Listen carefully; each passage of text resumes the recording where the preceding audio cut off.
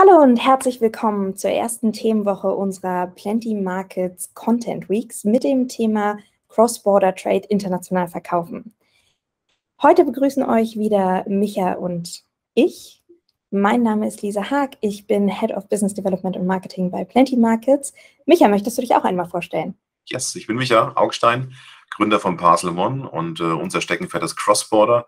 Nur aus dem logistischen Bereich, aber das, diese Wochen sind wunderbar, weil wir bis auf die letzte Woche eigentlich gar nicht über Logistik reden, sondern wirklich auch über andere Themen, die auch relevant sind, um erfolgreich zu sein im Cross-Border-Trade. Sehr richtig. Wer in der letzten Woche unsere Kick-Off-Veranstaltung gesehen hat, hatte das Vergnügen, Micha und mich live äh, darüber reden zu hören, warum der Schritt ins Cross-Border so wichtig ist. Die Aufzeichnung findet ihr natürlich auch nochmal auf YouTube. Ansonsten soll es in dieser Woche ja um Konsumentenverhalten und Zielmärkte gehen. Wir haben uns dafür entschieden, dieses Webinar voraufzuzeichnen, weil Micha und ich nicht die einzigen sind, die dazu was sagen können. Und es war relativ schwierig, alle Leute live an einen Ort zu bringen oder in einen, in einen Raum, ähm, um miteinander zu sprechen. Auch weil wir ein bisschen die Zeitverschiebung mit einrechnen mussten. Wir haben nämlich einen Experten aus den oder der über die USA spricht. Micha und ich haben einen Überblick mitgebracht über verschiedene Länder. Wir haben es Country Cards genannt. Ähm, zu diesen Ländern haben wir unter um oder, oder zu einigen da auch noch Experten, die im Nachgang mit Micha ein Interview gemacht haben, ähm, darüber, was sind die Besonderheiten der Märkte, wenn ich denn in diese Zielmärkte anfange zu verkaufen. Also was ist wichtig ähm, vom Konsumenten, also vom, vom Kunden aus gedacht, was für Erwartungen haben die Kunden, welche Produkte äh, werden gut verkauft, worauf muss ich am besten achten. Haben wir uns die Länder Belgien, Österreich, Schweiz und Spanien ähm, rausgesucht für die Country Cards und haben dann für Belgien, die Schweiz und Spanien auch noch Experten. Danach haben wir eine Case Study ähm, zum Land USA oder zum Export in die USA. Das haben wir in der Kickoff-Veranstaltung ein bisschen äh, rausgenommen und freuen uns, ähm, dass wir hier einen Experten an Bord haben, der ganz, ganz viele Daten und Fakten für euch hat und Wege denn in die USA zu verkaufen. Es ist ein Webinar, es gibt die Möglichkeit, Fragen zu stellen. Ähm, all diese Fragen werden wir uns annehmen und dann bei Plenty oder eben auch mit unseren Partnern und den Experten besprechen und für den Roundtable dann am Freitag äh, bereit haben. Von daher schickt, schickt sehr gerne Fragen ein, äh, Fragen zu dem, was Micha und ich zeigen oder aber auch, was in den Interviews gesagt wird von den Experten. Micha, und damit machen wir uns äh, auf nach Belgien, oder? Genau. Und kurz zu den Country Cards. Warum haben wir das gemacht? Weil man muss sich mit einem Land beschäftigen. Und wenn man das nicht macht, nimmt man das Land nicht ernst. Weil, werdet ihr jetzt ein Belgier, dann würdet ihr diese ganzen Daten und Fakten, die müsstet ihr gar nicht nachlesen. Ihr wüsstet sie einfach. Ihr kennt euer Land. Und wir möchten ja, dass ihr genauso erfolgreich seid wie die Domestic Seller. Also von daher schauen wir uns ein paar Länder an. Und das ist so zum Endeffekt äh, ein, ein Ausschnitt, weil es ist nachher irrelevant, welches Land ihr angehen möchtet. Ihr müsstet euch genauso damit auseinandersetzen. Und auch bei anderen Ländern würden wir euch genauso helfen. Aber wir können jetzt nicht die ganze Welt machen. Von daher haben wir jetzt einfach mal vier Länder genommen, äh, die wir einfach interessant fanden. Und Belgien, wie gesagt, ist ein Nachbarland von uns und ähm, macht super schöne Umsätze, auch bei uns im logistischen Bereich. Läuft wunderbar. Aber Lisa, was haben wir da für generelle Infos eigentlich jetzt zu diesem belgischen Land? Was kannst du uns da sagen? Genau, ich glaube, zu sagen ist nochmal, dass hier wirklich sehr, sehr viele Informationen drauf sind und dass wir uns bewusst sind, dass es sehr, sehr viele Informationen sind. Und die Aufzeichnung, wie aber auch diese einzelnen Country Cards werden wir natürlich in unserem Content Hub bereitstellen, ähm, weil es nicht nur reicht, da einen Blick einmal drauf zu werfen, sondern die Zahlen sollte man sich eventuell nochmal näher anschauen. Was ich super spannend fand, wenn man links äh, oben in die generellen Infos guckt, ist der Umsatz im elektronischen B2C-Handel in Europa von 12 Milliarden zu den Einwohnern von 11,56 Millionen. Das ist durchaus ein, ein signifikanter äh, Kuchen, von dem wir als Händlerinnen und Händlern doch ein Stück abhaben wollen. Das wäre, das, die, die Zahl hat mich sehr überrascht. Genau, und diese Zahl äh, verfolgt die bitte. Ne? Wir schauen uns nachher auch andere Länder an. Äh, wie sind denn da, da die Umsätze? Entspricht das ungefähr eurer Vorstellung, äh, dass, es, dass, dass die auch diese Umsätze machen? Weil es ist manchmal echt äh, verblüffend. Ähm, was ich cool fand, war ähm, das Einkaufsverhalten, weil es ist für einen Belgier eigentlich ganz normal, äh, E-Commerce, also sozusagen tätig zu sein und einzukaufen. Und das sogar teilweise sehr exzessiv. Ne? Also selbst 27 Prozent kaufen in den letzten drei Monaten sechsmal oder sogar häufiger ein, und zwar online. Man sieht es auch so ein bisschen, wenn man sich die Internetnutzung in 2021 anschaut. 94 Prozent der ähm, Belgier nutzen das Internet. 94 Prozent, oft fragen wir uns, warum sind es nicht 100, weil wir von uns ausgehen. 94 Prozent ist da sehr hoch und 80 Prozent E-Shopper ist ein wirklich guter Anteil. Ähm, was mich überrascht hat, ist so ein bisschen die Nutzung der sozialen Medien, dass Pinterest so einen großen Anteil hat in Belgien. Aber auch wieder Zeichen dafür, man muss sich mit dem Land auseinandersetzen, um eben zu gucken, wo platziere ich und wo bewerbe ich auch meine, meine Produkte. Ansonsten Top-Marktplätze, Bowl.com, Amazon, AliExpress, auf jeden Fall super relevant. Es sei gesagt, bei all den ähm, Datenpunkten hier war es möglich, eine Mehrfachnennung anzugeben. Also es kann sein, dass die, die prozentuale Anteile nicht auf 100 Prozent kommen oder auch deutlich über 100 Prozent, weil eine Mehrfachnennung möglich ist. Genau. Ein Punkt noch, mhm. äh, wegen Marktplätzen. Äh, ich habe gerade die, in, in einem, äh, die Aufzeichnung von René im Sinn, ähm, zumindest den Probelauf. Und äh, dort verändern sich die Werte ganz leicht. Der hat ganz aktuelle Zahlen und das ist echt spannend, weil wenn wir jetzt äh, aus unserer Perspektive den belgischen Markt, aber auch den, den niederländischen Markt sehen, dann ähm, denken wir vielleicht auch immer mit der deutschen Brille. Amazon muss ja der mhm. größte sein. Ist es nicht. Und Boll.com ist ein ganz kleiner Marktplatz, in Anführungsstrichen, auf der europäischen Karte, aber der relevanteste für Benelux. Und äh, das sind so Gegebenheiten, auf die man einfach eingehen muss. Und äh, ja, zu Pinterest muss ich sagen, ich glaube, meine Frau ist Belgierin. die nutzt es auch sehr, sehr gerne. Sehr gut. Ähm, beim Einkaufsverhalten, du warst eben schon da, Michael, ist, glaube ich, die Zahl derer, die auch aus der EU, also nicht nur national aus Belgien, sondern aus der EU kaufen, mit 65 Prozent doch sehr, sehr hoch. Wir hatten letzte Woche im Kickoff die Zahl aus Deutschland, die bei um die 30, knapp über 30 Prozent lag. Das heißt, wir haben so ein bisschen voranalysiert, kleines Land, es gibt nicht alles im und aus dem Land. Von daher liegt es auf der Hand, dass man aus der EU oder auch dem Nicht-EU-Ausland einkauft, aber 65 Prozent ist hier auf jeden Fall eine hohe Bereitschaft da, auch Cross-Border-Artikel zu kaufen. Wollen wir einmal ins nächste Land schauen? Ja, und nehmt euch eine Zahl mit: 12 Milliarden Umsatz Belgien. Schauen wir in Österreich, unser Nachbarland, was uns doch so sehr ähnlich ist in, in vielen Punkten, nämlich auch in der offiziellen Landessprache Deutschland und damit schon mal keine Sprachbarriere. Absolut. Und das Interessante ist, ich sagte gerade 12 Milliarden und ihr seht, Österreich sind nur 9,6 Milliarden. Das heißt weniger wie Belgien. Aber Österreich ist im Endeffekt das Land, wo wir, das haben wir es auch mit reingenommen, wo wir als deutsche E-Commercer sagen würden, also wenn du Österreich nicht machst, dann läuft ja ganz was falsch. Also, und hier merken wir, dass es, die machen weniger Umsatz wie Belgien und trotzdem ist es für uns das wichtigste Land sozusagen. Klar, liegt an der Sprache. Liegt auch daran, dass die Käufer ähm, oder die E-Commercer, die, die Shopper sozusagen, für die ist es ganz, ganz normal, auch in Deutschland einzukaufen. Ja, weil die Hürde, die sprachliche Hürde, auch die Versandkostenhürde eine ganz andere ist, weil es ist für uns ganz normal, dass wir sozusagen die Dachregion liefern, zumindest nach Deutschland und Österreich. Ihr kennt das ja vom, von der, von der, äh, vom Kickoff, dass ich für die Schweiz immer so ein bisschen am Fighten bin, weil da nicht jeder hinschicken möchte. Aber nach Österreich, auf jeden Fall ist da super leicht äh, äh der Weg geebnet worden, ähm, und das ist echt gut. Genau, was mir bei Österreich ähm, aufgefallen ist oder so ein Aha-Effekt war, ist die Größe des Warenkorbs. 97,50 mhm. Euro als Größe des Warenkorbes ist enorm. Das mhm. heißt, obwohl Österreich, wir sehen es an der Internetnutzung, 83 Prozent, nur 65 Prozent äh, Online-Shopper, der Kuchen kleiner im Vergleich zu, zu Belgien, die Warenkörbe sind groß. Es können höherpreisige Artikel verkauft werden. Ähm, und das ist nicht der Hauptgrund für die Stornierung eines Cross-Border-Trade oder eines Cross-Border-Kaufes, sondern wenn, sind es die Versandkosten und die Lieferzeiten. Und dafür haben wir ja in dieser Cross-Border-Reihe auch noch äh, Lösungen, die wir aufzeigen. Absolut. Gut, das nächste Land, welches ist das denn? Wir gehen in deine geliebte Schweiz, Micha. Ja, absolut.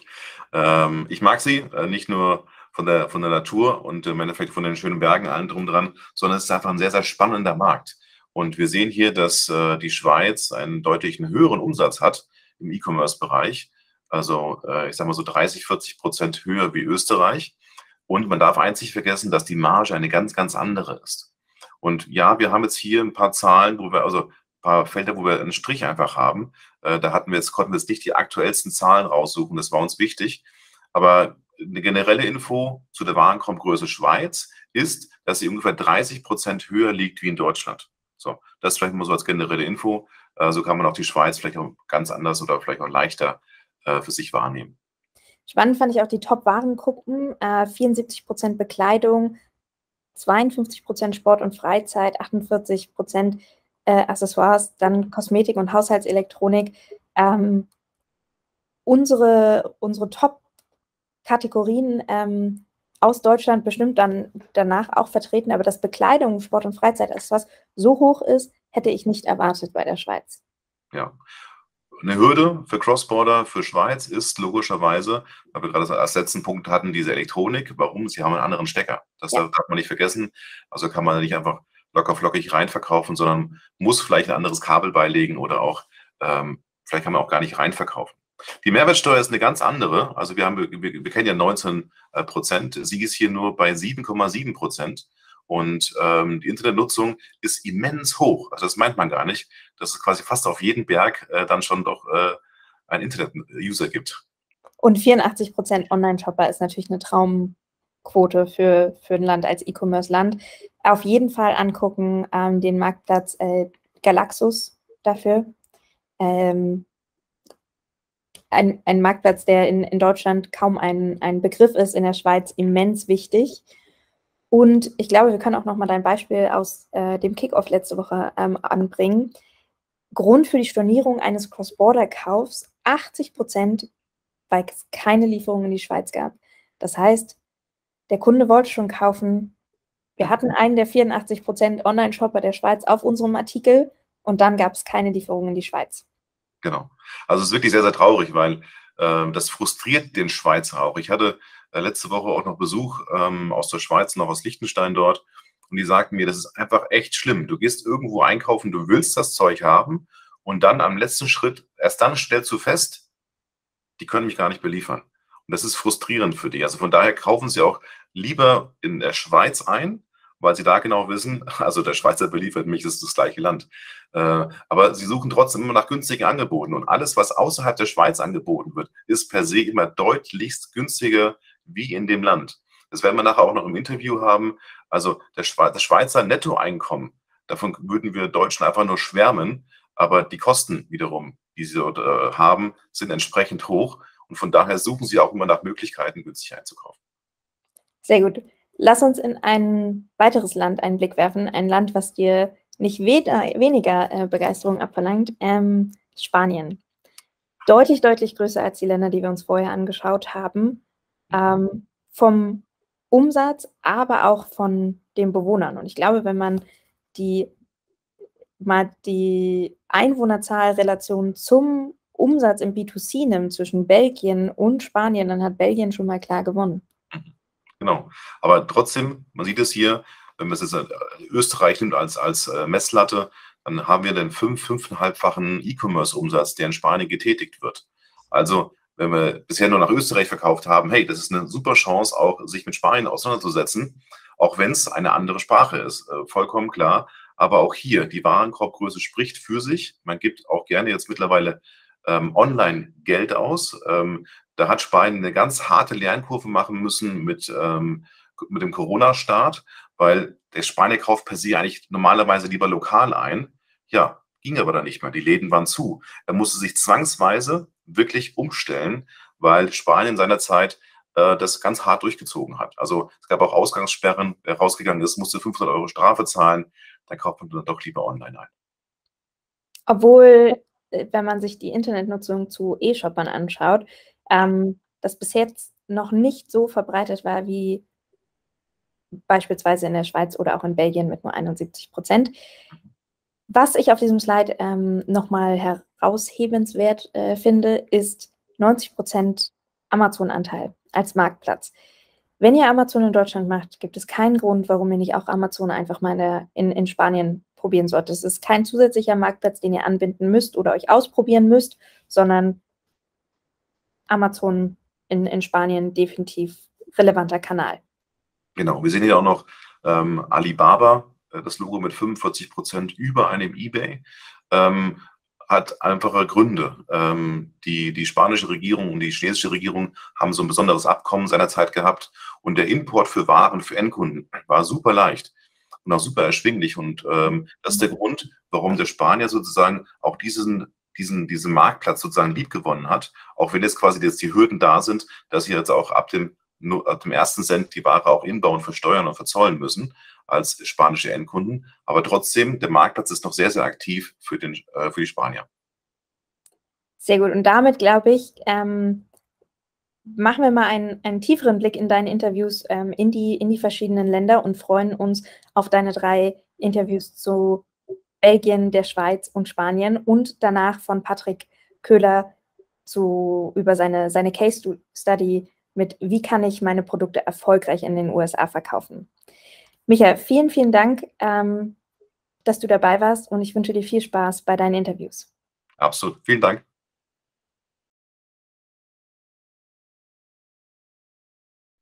So, ich freue mich jetzt wirklich, dass äh, René mit dabei ist. Äh, René Kopplo von der B-Post, äh, langjähriger Freund und äh, wirklich auch sehr, sehr erfahren, nicht nur im logistischen Bereich, sondern auch ein bisschen im E-Commerce-Bereich. Und ich freue mich, dass du da bist, René. Äh, du bist auch ein, äh, ein, ein strategischer Partner von uns als Parcel One. Aber auch Belgien ist auch ein strategisches Land für uns, als ein Nachbarland ist. Und von daher freut mich, dass du dich kurz vorstellen kannst.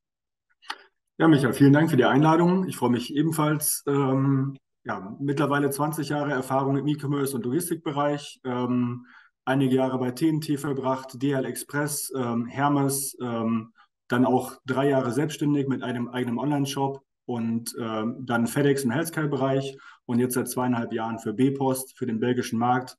Alles, was nach Deutschland, nach Belgien versendet wird. Super. Das finde ich total spannend, weil normalerweise jemand, der Logistik macht, macht durchgehend Logistik und du hast einen kleinen Exkurs gemacht und hast einfach dann E-Commerce auch mal von der anderen Seite kennenlernen äh, dürfen und das äh, bringt dich auch, also hat dich weitergebracht. Äh, deshalb kannst du auch jetzt vielleicht unsere Verkäufer oder auch Versender verstehen, die jetzt einfach mal wissen wollen, hey, Belgien, was ist denn da überhaupt los mit diesem Land? Und von daher würden wir gerne in die Fragen reinspringen mit dir Bitte. und etwas einfach über das belgische Land, also über die Belgier kennenlernen. Ja. Wie ticken ähm, was, was haben die für einen Bildungsgrad oder Interessen, Alter, Einkommen? Was gibt es da so für Informationen, die du uns äh, mitteilen kannst?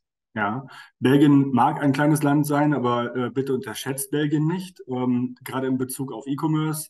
Wir reden über ähm, 11,5 Millionen ähm, Einwohner, 51 Prozent sind Frauen, 49 Prozent sind äh, Männer. Ähm, ja, äh, kaufkräftig und ähm, ja, gerade auch im Bereich E-Commerce äh, willig, ähm, Cross-Border zu kaufen. Mhm. Super cool für die Informationen schon mal. Vielen Dank. Und was wir auch schon, ähm, was Lisa und ich auch schon besprochen hatten, war, ähm, man hat immer Österreich so als, als starkes Nachbarland im, im Sinn. Ist es auch für uns, klar, weil es auch die gemeinsame Sprache äh, ähm, macht das ja auch alles leichter. Aber Belgien macht 30 Prozent ungefähr mehr ähm, E-Commerce-Umsatz äh, wie in Österreich. Und äh, auch ein Großteil wird auch ähm, Cross-Border gekauft.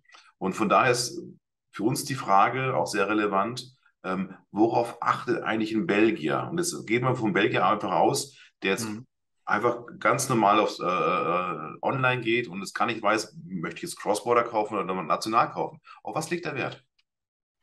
Ja, in Belgien im Vergleich zu Österreich muss man äh, auf die Sprache achten. In äh, Belgien sind es drei offizielle Amtssprachen, äh, Französisch, Dutch, also Niederländisch und auch Deutsch, wobei Deutsch ein ähm, äh, nicht der Redewert ist, der Anteil. Und ähm, wir reden über 67 Prozent, die Niederländisch sprechen und 33 Prozent, die Französisch sprechen. Das heißt, darauf sollte man sich einstellen und ähm, es den Käufern oder den potenziellen Käufern so angenehm wie möglich machen, sprich also Fleißarbeit übersetzen.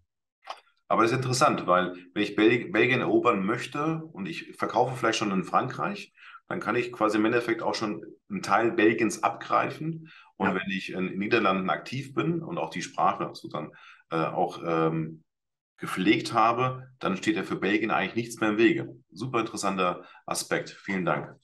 Ähm, was gibt es eigentlich für No-Gos, wenn man nach Belgien verkauft? Muss man da auf irgendetwas achten oder auf was muss man, oder was ist das Must-Have? Also was muss man beachten?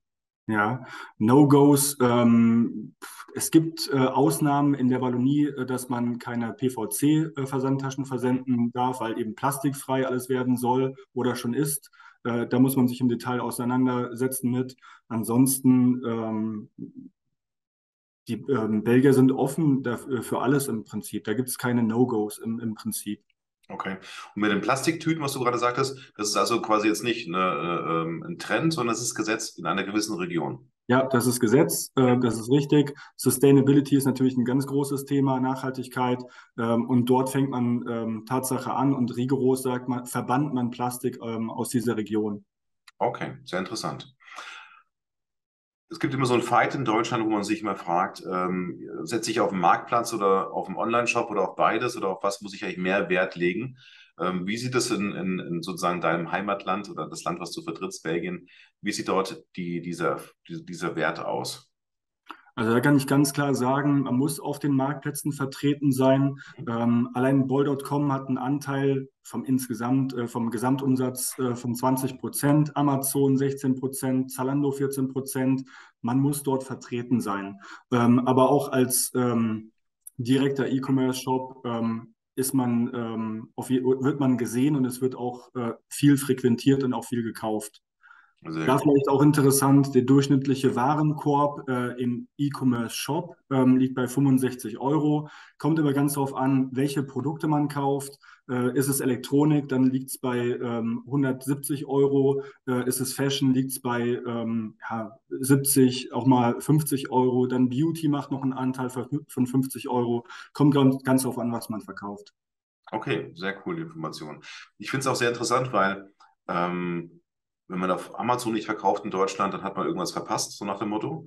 Aber hier merkt man quasi, in Belgien ist Amazon gar nicht auf Platz 1 oder auch marktbeherrschend, so- sondern das ist Bol.com, ein Marktplatz, der im Endeffekt im Benelux äh, äh, exklusiv tätig ist für, für, für den jetzigen Zeitpunkt. Und ähm, sehr interessant, vielen Dank. Super etabliert, ja, das stimmt. Genau. Ähm, eine Frage zu Zahlungsmethoden. Ähm, hier in Deutschland ist ja so, man hat PayPal angebunden und ist quasi im Endeffekt mehr oder weniger durch. Muss vielleicht noch ein, zwei Sachen noch beachten. Ja. ist es in Belgien? Ja, in Belgien, äh, PayPal ähm, ist auf jeden Fall eine sichere Bank, ähm, hat einen Anteil von 27 Prozent. Nur darüber äh, steht noch Bankkontakt mit 29 Prozent. Und dann geht es weiter mit 18 Prozent Credit Card und dann noch mit 8 Prozent Pay Afterwards. Und dann gibt es noch kleinere ähm, Lösungen, äh, auch mit Google Pay, Apple Pay äh, und so weiter. Wobei die jüngere, äh, jüngere Generation unter 30 Jahren viel mehr auch mit Google Pay arbeitet. Also das sind es auch äh, an die 5 Prozent. Das sind die neuen Trends, ne? die man Mhm. teilweise auch schon in, in Deutschland merkt. Ähm, wo würdest du eigentlich sagen, ist das jetzt der, der, der größte Unterschied zwischen ähm, im, im belgischen E-Commerce-Käufer zu einem deutschen E-Commerce-Käufer? Ähm, du hast ja viele, auch viele Arbeitskollegen in Belgien. Ähm, also wo ist, wo ist sag mal, der, der Unterschied, den du vielleicht feststellst?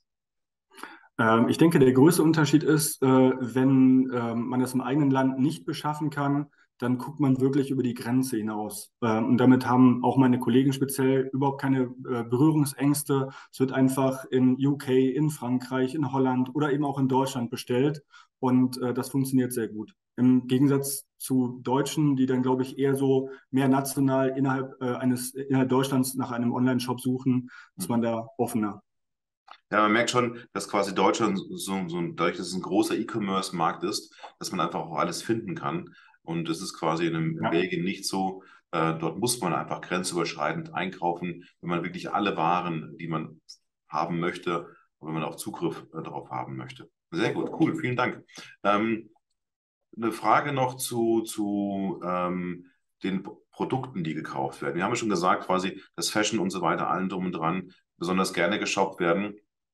Ähm, aber kannst du vielleicht auch einen Trend äh, ähm, oder vielleicht einen Erfahrungswert geben, was besonders von Deutschland nach Belgien geht? Also gibt es da vielleicht ein paar Produkte, wo du sagen kannst, also das ist auf jeden Fall immer mit dabei?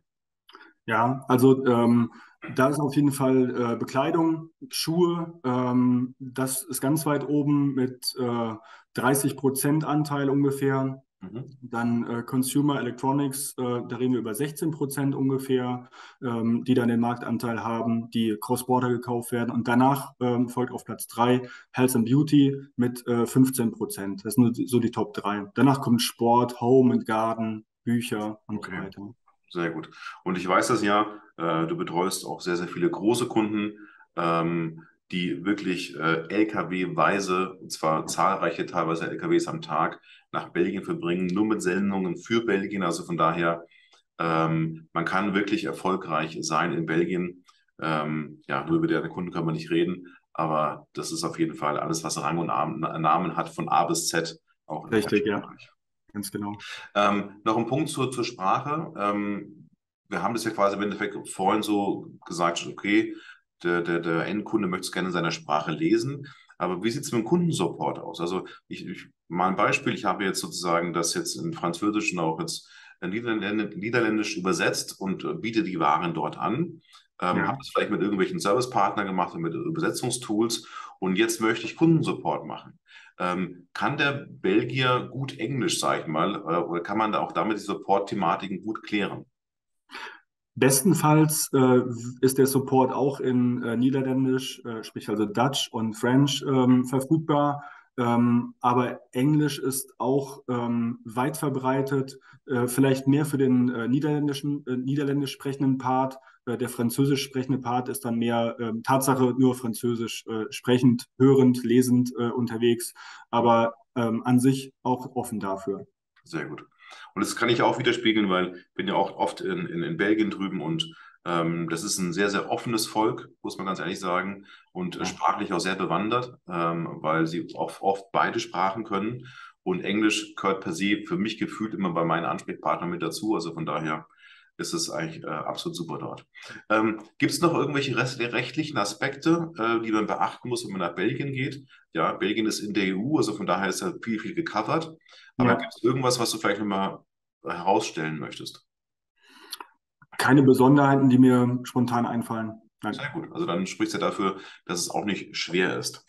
Ja. Ähm, wir machen nochmal einen Exkurs quasi in unseren äh, in den Bereich, in dem wir beide hauptberuflich tätig sind. Das ist die Logistik.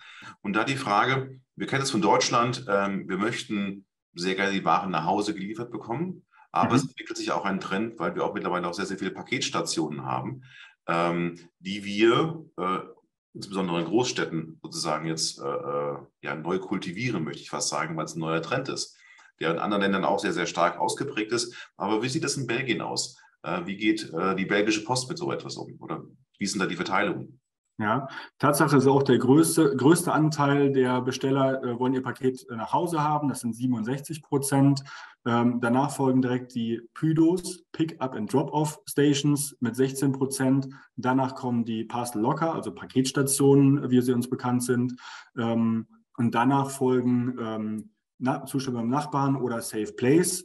Aber gerade äh, speziell das Thema äh, Locker und auch Pydos äh, wird bei uns gepusht, weil es eben auch viel nachhaltiger ist, damit wir unseren CO2-Fußabdruck ähm, ja, verringern, verkleinern können. Und äh, wir haben inzwischen über 2600 äh, Pickup ähm, oder Pydos und Parcel Locker. Äh, das heißt, das Ziel ist, innerhalb von vier Minuten zu Fuß ähm, einen solchen Parcel Locker zu, oder Parcel Locker oder ähm, Paketstation zu erreichen. Und äh, da geht eben der Trend auch hin, weil gerade die junge Generation ist sehr nachhaltig unterwegs und nimmt das gerne an. Super. Also, aber 67 Prozent ist ja schon im Endeffekt ein deutlich niedrigerer Wert, wie das in Deutschland ist, mit deutlich über 80 Prozent äh, ja. Home Delivery. Aber das ist schon mal sehr interessant. Jetzt hatten wir auch in, in der ersten Session äh, von den Plenty Content Weeks einen Punkt, wo dann auch ein User gesagt hat oder im Endeffekt ein, ein, ein, ein Merchant gesagt hat, ähm, also Cross-Border und Retouren, das ist ja schon echt eine harte äh, Thematik, weil Retouren logischerweise ins Aus, also vom Ausland zurück, kosten per se mehr, keine, keine Frage, so wie auch der Hinversand ein bisschen äh, etwas mehr kostet. Aber wie sieht die Retourenquote aus für, ich sage jetzt mal vielleicht auch ein Vielleicht kannst du Bezug nehmen auf deine Kunden, die du hast. Wie sieht es dort aus mit den Retourenquoten, vielleicht zu Deutschland? Ja, genaue Prozente ähm, kann ich nicht preisgeben, aber ich kann äh, sagen, dass die Retourenquote geringer ist als in Deutschland. Ähm, also äh, der belgische Konsument macht sich vorher eher Gedanken, hey, was gefällt mir, was passt mir und bestellt genau das, was er auch behalten möchte. Natürlich kommt es vor, dass es auch diese äh, brutalen Powershopper gibt, die äh, Unmengen an Sachen bestellen und auch vieles zurückschicken, aber das ist eher die Ausnahme, dass, dass wirklich die Retourenquote gering bleibt. Sehr gut, cool. Ähm, ein Punkt, den ich äh, immer gerne frage, weil es mich auch immer, immer interessiert, ähm, welche E-Commerce-Veranstaltungen gibt es denn in Belgien oder sag mal in Benelux, äh, die relevant ist? Weil wir kennen ja unsere Veranstaltungen alle in Deutschland, zu denen wir gerne hingehen, aber äh, in Benelux, was ist dort quasi im Endeffekt ähm, eine Messe, wo du sagen müsstest, würdest, oder eine Veranstaltung, geh dorthin, äh, dort kannst mhm. du vielleicht auch Dienstleister oder Partner finden, die dich quasi auch äh, unterstützen ähm, wenn du auch ein großes Projekt vorhast mit Benelux zum Beispiel, dass du dann schneller Fuß fassen kannst, vielleicht sprachlicher Art oder vielleicht mit irgendwelchen ja. Tools? Ähm, da kann ich speziell hervorheben, ähm, findet oder fand dieses Jahr in Utrecht statt, in Niederlande, äh, Webwinkelverktagen ähm, genannt. Ähm, dort kann man sich auf jeden Fall ähm, als E-Commercer äh, super connecten, egal ob mit Carriern oder anderen E-Commercern. Das ist äh, eine Messe, die ich da tatsächlich empfehlen kann. Sehr gut, cool. Finde ich immer spannend. Und ich besuche auch immer sehr, sehr gerne ausländische Messen. Von daher, äh, die habe ich mir schon notiert und äh, eine der nächsten werde ich dabei sein. Da freue ich mich drauf. Sehr ja, René, also vielen herzlichen Dank, ähm, dass du heute dir Zeit genommen hast, ähm, äh, uns etwas über das belgische Land zu erzählen und nicht nur Zahlen, Daten, Fakten auf, von der logistischen Seite, ähm, weil du bei Logistiker arbeitest, bei der B-Post, sondern dass uns auch viele kleine Einzelheiten auch zu dem belgischen Land sagen konntest. Und ähm, es gibt auch immer Studien über Belgien. Ähm, einfach mal googeln oder vielleicht können wir die auch nachher zur Verfügung stellen mit den mhm. Fakten zu deinem Land, um sich einfach ja, zu akklimatisieren, einfach zu schauen, wie kann ich gut Belgien ähm, erreichen, ansteuern, aber dann auch erfolgreich umsetzen. Von daher, René, vielen, vielen Dank. Sehr gerne, danke. Ja, ich freue mich, dass ich jetzt äh, mich mit Hubert austauschen darf. Hubert äh, Biedermann von der Liechtensteiner Post. Ähm, und ich freue mich, oder warum, oder warum haben wir Hubert eingeladen sozusagen? Äh, Hubert ist mit mir im Vorstand auch von Logistic Natives, ähm, wo wir Logistik, logistisch sehr, sehr stark aktiv sind. Aber ähm, er kennt sich auch sehr gut aus äh, zu dem Thema Schweiz und Liechtenstein. Und äh, deshalb freue ich mich, dass wir dich als Interviewpartner gewinnen durften für diese Plenty Content Weeks. Und Hubert, willst du kurz was zu dir sagen? Ja, lieber Michael, zuerst mal ganz herzlichen Dank für die Einladung zu diesem äh, Plenty Market, zu dieser Week. Da freue ich mich sehr darauf. Und ja, ich bin seit rund neuneinhalb Jahren bei der Liechtensteinischen Post zuständig, betreue da die Key Accounts, die strategischen Partner, äh, wie auch One einer davon ist. Und äh, wir kennen uns schon ein paar, paar Jahre zusammen wie schon du erwähnt hast, sind wir bei Logistic Native sehr aktiv unterwegs. Und das macht äh, wirklich Spaß zusammen, da etwas zu bewegen und den Markt mal, mal aus einer anderen Brille zu betrachten. Und ich freue Absolut. mich auf das Gespräch mit dir. Genau, sehr schön. Und wo du schon sagst, quasi etwas zu bewegen. Ähm, die Intention heute ist auch, ähm, die, die Merchants, sprich die Verkäufer, die im deutschsprachigen Raum aktiv sind, ähm, aber vielleicht noch nicht in die Schweiz rein verkaufen oder das noch nicht machen, die zu bewegen, ähm, dies zu tun und ähm, auch das Land Schweiz äh, kennenzulernen. Das ist eine immens wichtige Sache. Äh, und obwohl du ja von der Liechtensteiner Post bist, also quasi im Endeffekt ein ganz kleiner Bereich äh, im östlichen Bereich der Schweiz, ähm, logischerweise kennst du die Gegebenheiten des, der Schweiz. Und von daher freuen wir uns jetzt schon auf, auf Punkte, die du uns vielleicht direkt sagen kannst zu, zu den Konsumenten ähm, in der Schweiz. Also wie alt sind sie? Was, ist, was, was macht ein Schweizer aus? Was für Interessen hat er? Wie ist, wie ist Bildungsstand, Einkommen und so weiter? Ähm, Hubert, sag uns was dazu. Ja, gut, gerne. Also die Schweizer, das, äh, ich glaube, das ist in Deutschland nichts Neues, die sind eher ein bisschen, ich sage es zurückhaltend, konservativer unterwegs. Das heißt aber nicht, dass das schlecht ist. Äh, die überlegen sich oftmals zweimal vielleicht, bevor sie irgendetwas verändern oder einen Schritt gehen. Äh, wenn wir mal so den, den Online-Market in der Schweiz anschauen, der macht rund 14,4 Milliarden Umsatz, machte der eben 2021 und davon sind 2,1 Milliarden äh, Franken auf den Cross-Border-Bereich äh, entfallen. Das sind rund 15 Prozent davon. Äh, wenn man aber den gesamten Markt in der Schweiz betrachtet, der im Prinzip Detailhandel betrifft, sprechen wir doch da von einem Markt von etwa 120 Milliarden Schweizer Franken. Und da sieht man, dass diese knapp 12 Prozent, der der Online-Markt da eigentlich ausmacht, noch viel Potenzial nach oben hat. Mhm. Und äh, dieses Potenzial bietet sich nicht nur für Inländer an, auch für ausländische Versandhändler, die sich immer ein bisschen vielleicht schwer tun mit der Schweiz, weil es auf der einen Seite mehrsprachig ist, auf der anderen Seite natürlich auch die Barriere äh, Zoll, äh, Grenzstation hat. Aber auch das lässt sich alles problemlos überwinden.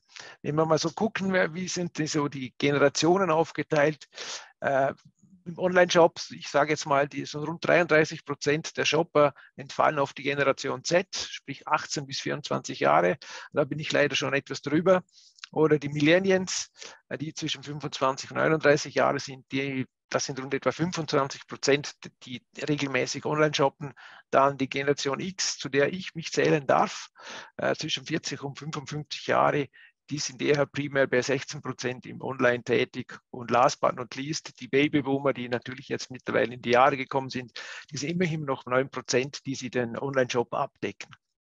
Sehr gut. Wenn, ja, Betrachten wir noch das Thema Interessen, mhm. äh, dann ist das nicht viel anders wahrscheinlich als in Deutschland. Die größten Interessen liegen eigentlich bei Fashion und Accessoires, äh, dementsprechend die da gekauft werden. Natürlich dann auch Heimelektronik, und wenn ich die Fashion-Betrachtung mache, dass sie schon die kaufstärkste Gruppe sind, die Generation Z, die, die da ziemlich stark zugreift und das natürlich äh, modebewusste Leute sind, die sehr regelmäßig diesen Austausch betreiben. Äh, die nächstgefolgene Kategorie sind Wohnen und Einrichten, die sehr gerne gekauft werden. Das ist dann wieder ein Thema für die Generation X. Und an der dritten Stelle kommen dann hauptsächlich die Heimmärkte, also Elektronik, Elektronikgeräte, die kommen und das ist ein, dann ein Thema für die Millennials. Mhm. Und so ist das eigentlich immer dementsprechend ausgedacht. Äh, Bildungsstand ist ja auch ein Thema, immer wieder. Äh, wer kauft dann wirklich an und wo ist der Bildungsstand in der Schweiz, wenn man diese Online-Shopper mal betrachtet? Äh, da kann man relativ groß ausholen und kann sagen, rund 89 Prozent der Online-Shopper, die regelmäßig kaufen, die gehören der tertiären Stufe an, also sprich, die haben Hochschul-, Fachhochschule, Universitätsabschluss. Und rund 94, 74 Prozent der Online-Käufer in der Schweiz haben immerhin Sekundarstufe 2. Das wäre so in Deutschland Stufe Matura, Abitur sie Abschluss haben. Und last but not least, äh, der Otto-Normalverbraucher machen ebenfalls 49 Prozent aus, die doch auch dementsprechend eine gute Bildung haben. Das ist eine coole Zahl, nicht schlecht. Ja, das äh, freut aus, ist man erst dann bewusst, wenn man das wirklich mal auseinander nimmt, im Detail nachschaut und prüft, wie das aussieht. Äh, was auch ein Thema ist, Einkommen natürlich. Äh, je einkommensstärker die Leute sind, umso eher sind die Chancen da, dass online gekauft wird. Äh, Corona hat das natürlich auch gezeigt, dass man neben den Gewohnheiten des Einkaufs auch andere Sachen Produkt.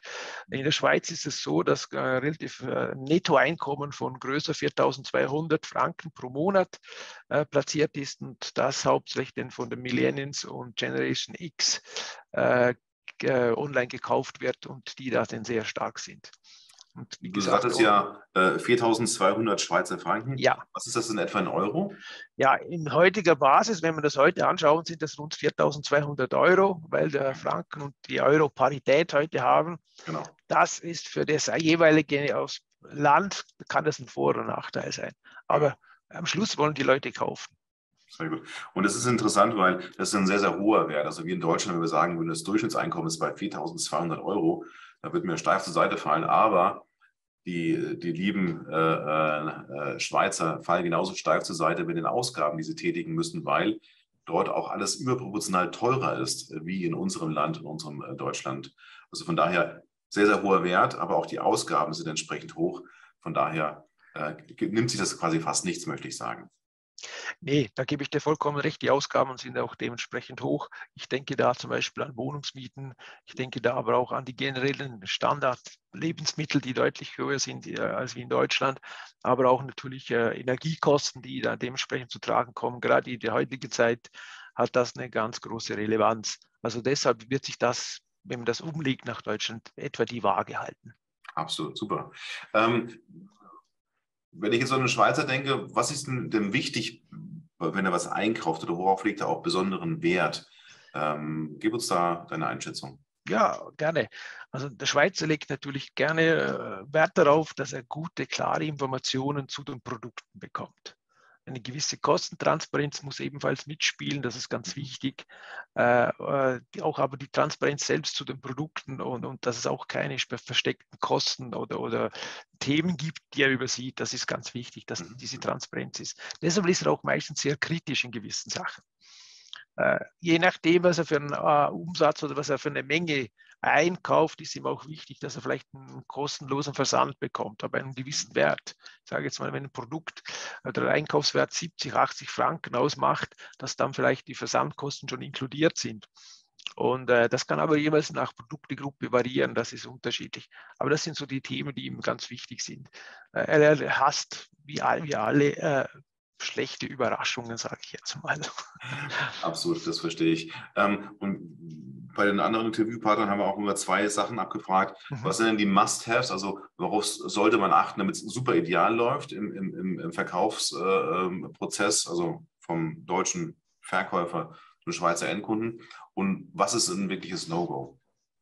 Also ganz wichtig ist natürlich, dass man die Endkosten äh, beim Cross-Border natürlich klar transparent macht. Mhm. Der Kunde muss wissen, äh, was er da effektiv kauft und was er dann auch dafür bezahlt. Äh, ganz wichtig ist auch dem, dem Schweizer Einkäufer, dass er nicht noch an der Haustüre irgendwelche Einfuhrgebühren oder Zölle bezahlen muss, sondern dass das dementsprechend schon vorweg geregelt ist. Ich nenne da die Lösung Delivered Duty Paid oder auf Deutsch geliefert und verzollt. Diese Lösung gibt es heute das kann man auch dementsprechend umlegen auf, auf äh, äh, die Kosten gegenüber dem Schweizer Kunden. Da ist er nicht, da erschreckt er auch nicht, das ist nicht auch bewusst.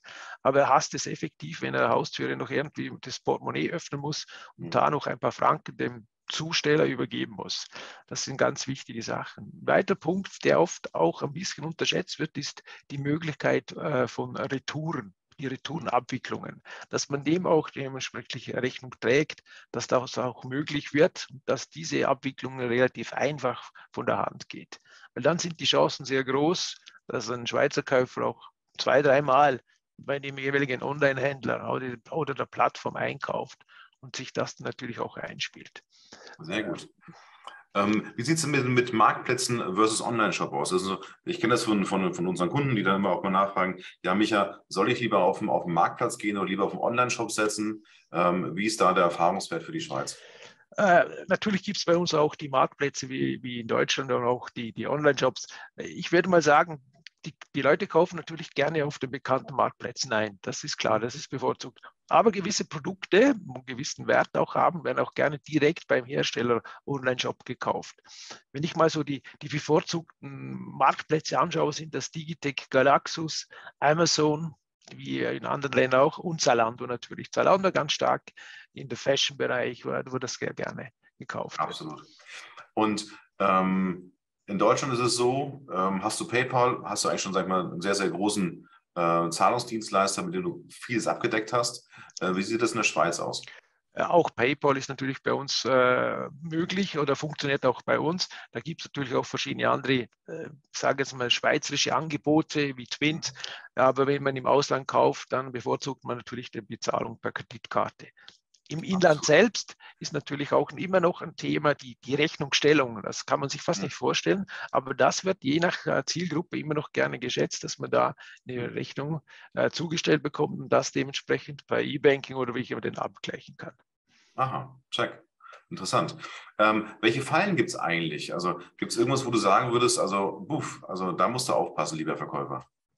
Ja, wenn, wenn er in die Schweiz verkauft, ist ganz wichtig, dass diese die nötigen Zolltarifnummern zu den Produkten äh, dokumentiert sind, bekannt sind, äh, dann flutscht das auch besser beim Zoll. Ansonsten kann das immer wieder Verzögerungen geben, Nachfragen, im schlimmsten Fall sogar, dass der Zoll die Sendungen nicht äh, freigibt und zurücksendet. Und das ist eigentlich das, das Horror-Szenario, das weder der Verkäufer liebt noch der Käufer schätzt, weil äh, das schreckt natürlich ab. Das sind Arbeiten, die man im Vorfeld als Unternehmen ein bisschen tätigen muss. Meistens lässt sich das über das ERP steuern. Und wenn man die Daten mitliefert, dann bin ich überzeugt, dass das problemlos flutscht. Und ich weiß, dass zum Beispiel Parcel One da absolut gute Lösungen hat und das auch heute schon praktiziert. Hey, hey. Ähm, wir springen kurz ein bisschen weiter. Thema E-Commerce, Partner, Dienstleister. Ähm, unabhängig jetzt von Marktplätzen äh, oder auch äh, von, von, von, von der Logistik, ähm, auf was muss man achten? Gibt es da, gibt's da Partner, auf die man äh, äh, äh, setzen muss oder wo kann man die auch kennenlernen? Also wenn wir, wenn wir das rein den versandtechnischen Bereich betrachten, sind es natürlich, äh, das ist ganz klar, das sind äh, die, die, die Postgesellschaften, sprich die Schweizerische Post, mit der wir sehr eng zusammenarbeiten. Es gibt aber auch andere Anbieter, die äh, gute Lösungen im Versand haben und auch im Retourenmanagement. Das können, könnten Quickbacks sein oder auch andere, die das absolut anbieten können. Mhm. Das sehr funktioniert gut. auch reibungslos. Und wenn du jetzt an, an, an E-Commerce denkst, also du bist ja im Endeffekt äh, ein, ein, ein, ein echter Lichtensteiner, das mal sozusagen, ähm, was wird gerne gekauft online? Ja, da, da habe ich selbst ein bisschen gestaunt, als ich dem nachgegangen bin. Und ich sage jetzt mal, die meisten Artikel oder die meisten Produkte, die gekauft werden, sind Tickets, Zug- und Bahntickets in der Schweiz. Okay. Äh, gefolgt von Fashion, Schuhe, Sportartikel, natürlich Accessoires, Kosmetikartikel, Heimelektronik, klassisch. Aber das mit den Tickets hat mich wirklich überrascht, dass da, das ist absolut die größte Anzahl, die an, an, an Käufen getätigt wird. Und das zeigt, dass doch eine gewisse äh, Digitalisierung, Affinität zu der Digitalisierung vorhanden ist. Interessant. Ähm, es waren ja auch Kollegen von dir letzte Woche bei uns und die haben uns auch gesagt, quasi, dass das äh, Schienennetz zum Beispiel in der Schweiz sehr, sehr wichtig ist, weil man auch sehr, sehr schnell dann auch sich in der Schweiz fortbewegen kann. Und dass das im Auto gar nicht geht, weil im Auto musst du quasi Berg, Berg hoch und wieder Berg runter und Zug fährt einfach wupp, einfach durch. Und man kann, es gibt auch viele, die dann auch in, in, in Zürich oder in Bern arbeiten und äh, mit dem Auto wäre das gar nicht möglich, dorthin anzureisen. Aber per Zug geht das sehr, sehr leicht in eurem Land. Ja, das ist so. Also die Bahn ist äh, sehr, sehr gut ausgebaut. Die ist sehr gut im Personenverkehr und wird in der Nacht sehr, sehr stark für den Güterverkehr genutzt. Also mhm. Pakete werden zum Beispiel in der Nacht, können auch über den, man nennt das Nachtsprung, ausgetauscht werden auf die einzelnen Hubs. Das kann mit der Bahn erfolgen, das kann mit LKW erfolgen. Äh, die Bahn hat den Vorteil, dass sie eigentlich bei fast jedem Wetter äh, ah. ja, fahren kann, die Ware zustellen kann an die jeweiligen Hubs und dort übernommen werden kann. Sehr interessant. Das ist wirklich sehr gut ausgebaut. Schweiz kennen wir und wenn wir dorthin fahren, haben wir das Gefühl, jeder spricht Deutsch ne, oder auch Schweizerdeutsch. Aber es gibt ja noch weitere Sprachen. Und äh, sag uns was, also in welcher Sprache sollte man anbieten, wenn man in die Schweiz verkauft? Ist es nur eine oder mehrere? Also du hast schon richtig gesagt, die Schweiz hat heute eigentlich vier Landessprachen. Das ist die Deutsch, Französisch, Italienisch, Rätoromanisch. Äh, das ist eine Mischung zwischen Italienisch und, und äh, äh, ja, Lateinisch. Äh, die wird in ganz kleinen Gebieten gesprochen. Primär, wenn man sich sagt, okay, welchen Markt möchte ich primär bespielen, äh, der größte Teil ist natürlich die, die, die deutsche Sprache, der deutsche sprechende Markt, äh, dann der französische und italienische Markt. Ich sage immer, dieses Zielgebiet, das er anpeilt, dessen Sprache solltet ihr dementsprechend äh, können und allenfalls noch mit Englisch dazu unterstützen und dann deckt ihr da relativ viel ab. Sehr das gut. hilft eigentlich. Also wie wir es vorhin auch äh, mit der belgischen Post hatten äh, in der Aufzeichnung, ähm, wenn ich so in Frankreich mache und ich mache Italien und ich habe auch die Warenangebote logischerweise in Deutsch, dann kann ich ja im Endeffekt ganz leicht durchstarten, weil dann habe ich ja diese drei Sprachen und kann dann wirklich punkten, also sprachlich punkten in eurem Land. Und ähm, eine Frage auch zu, zu, zu dem Support. Also für mich ist ja nachher im Endeffekt der, der, der, den Kundensupport, den man, den man hat. Ähm, kann der Schweizer per se eigentlich fast immer Deutsch oder Englisch? Oder muss man auch auf Italienisch und Französisch äh, ausweichen, wenn man sich mit Kunden austauschen möchte? ich sage es mal so, die, unsere Mitbewohnerinnen und Mitbewohner, die in den anderen beiden Landessprachen tätig sind, Italienisch und Französisch sprechen besser Deutsch als wir Italienisch oder Französisch. Und äh, das ist schon so, dass es in Deutsch geht, na, allenfalls natürlich auch in Englisch. Das äh, ist sicher so, dass man das anbieten kann. Sehr gut. Wir haben noch ein, eine Frage auch mal eingebaut, die finde ich auch sehr interessant. Ähm, in Richtung recht, rechtliche Aspekte oder Kennzeichnungspflichten. Ähm, was kannst du uns dazu sagen ähm, zu der Schweiz? Ja, klar. Währung ist wichtig. Da geht es darum, dass die, die Rechnungen in Schweizer Franken ausgestellt werden. Das ist einfach so, dass man auch die, die richtige Mehrwertsteuer dahinter setzt. Die Schweiz kennt zwei, zwei Mehrwertsteuersätze. Das eine ist der Standardsatz von aktuell 7,7 Prozent und dann einen reduzierten Satz von 2,5 Prozent. Dieser kommt hauptsächlich für Nahrungsergänzungsmittel, Lebensmittel oder Bücher zum Beispiel zum Einsatz. Das ist die eine Geschichte. Auf der anderen Seite natürlich auch, wie wir das vorhin schon gesagt haben, wichtig ist, dass man die, die Zolltarifnummern dementsprechend mitliefern kann, dass es dementsprechend durchgeht.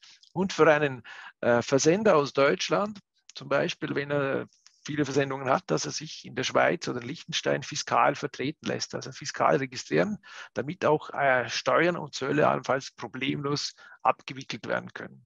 Das ist ein kleiner Einwahlaufwand, der ist auch nicht so teuer, wie sich das alle vorstellen, aber es gibt absolute Sicherheit, wenn man mit Behörden zu tun hat, dann, wenn die etwas einfordern, das kann dann die Fiskalvertretung problemlos erledigen und dementsprechend auch abwickeln.